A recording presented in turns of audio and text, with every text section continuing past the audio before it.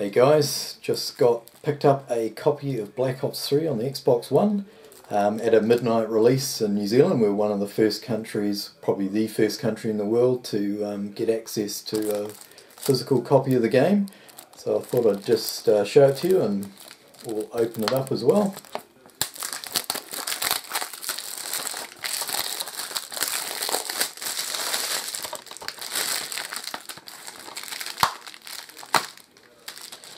There's the inside. So we've got the game and the Nuketown bonus multiplayer map. So yeah, you guys that haven't picked it up, yet, this is what you got to look forward to. So yeah, just sort uh, try and get a video out quickly.